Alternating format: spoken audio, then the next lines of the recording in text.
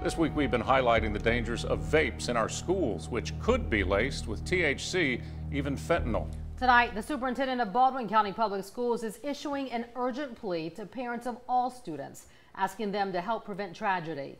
He said this is an issue close to his own heart. NBC 15's Corey Pippen has our story.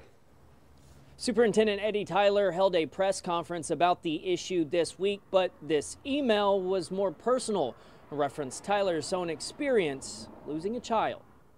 The fight against vaping in local schools continues, but it's no longer just about preventing nicotine addiction in children. Please don't mistake our message today as your traditional drug awareness event, because it's not. That was Baldwin County Public School Superintendent Eddie Tyler on Monday, and in an emotional letter emailed to parents today, Tyler says in part, quote, I don't want a single child to be hurt. I lost my youngest child to a traffic accident when he was a high schooler. I do not want any parent to ever have to suffer that tragedy. I wish my concern was just about vaping, but is much greater and more serious than that. THC is also frequently being injected into vapes, and unfortunately, that is also not the worst of what is happening. These vape kits are also being injected with a drug called fentanyl. Authorities blame fentanyl for a rise in overdose deaths both locally and throughout the state outside of schools.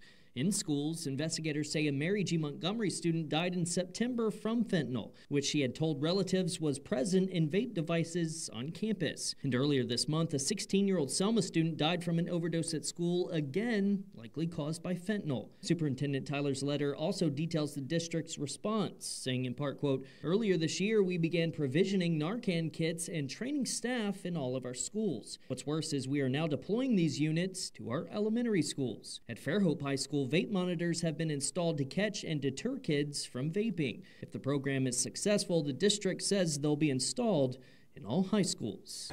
This is a wake up call to our Baldwin County communities about what is happening with this very deadly trend.